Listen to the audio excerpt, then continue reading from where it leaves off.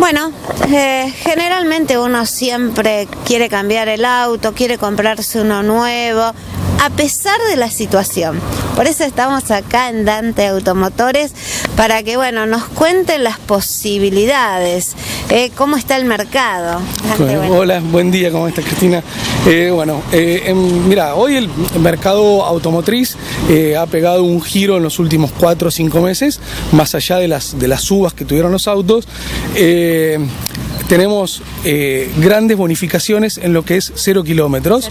Cero kilómetros. Eh, a lo que se ha caído un poco el mercado de Brasil, nosotros, er, nuestros mayores clientes era el mercado brasilero, en la crisis de Brasil afectado, entonces hay un exceso de unidades, las automotrices se ven con la necesidad de seguir vendiendo. Entonces, lo que nosotros también es, un poco estamos haciendo, o la idea de esto es que la gente se entere de que tenemos muy, buenas, muy buenos créditos para todo lo que es línea cero kilómetros.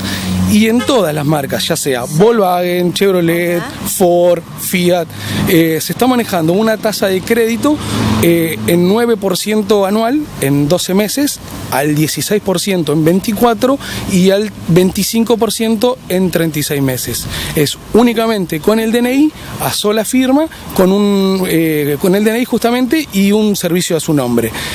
En este momento contamos con unidades que están bonificadas, ya sea en toda la línea de camionetas. Eh, te doy un ejemplo. La S10 por lista de precios figura eh, doble cabina 4x2 eh, figura 460 mil pesos y está bonificada 70 mil pesos. Es decir, hoy la unidad vale 390 mil pesos. Es como que se hizo un retro, se retrotrajeron los precios al, al año pasado, a octubre, noviembre del año pasado.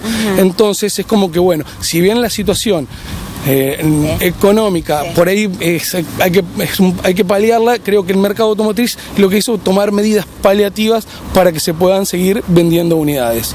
Eh, Volkswagen también la tiene en la tasa de, la, de Amarok, eh, en lo que es el nuevo Polo, que estamos, si Dios quiere, te va a dar la novedad, en 10 días lo estamos presentando aquí en Salto, con test drive. Fiat la tiene en toda su línea también, Chevrolet también, y Toyota lo tiene solamente en algún mercado, lo que es camionetas, Eletios y Toyota. En esos tres vehículos se encuentran las unidades bonificadas.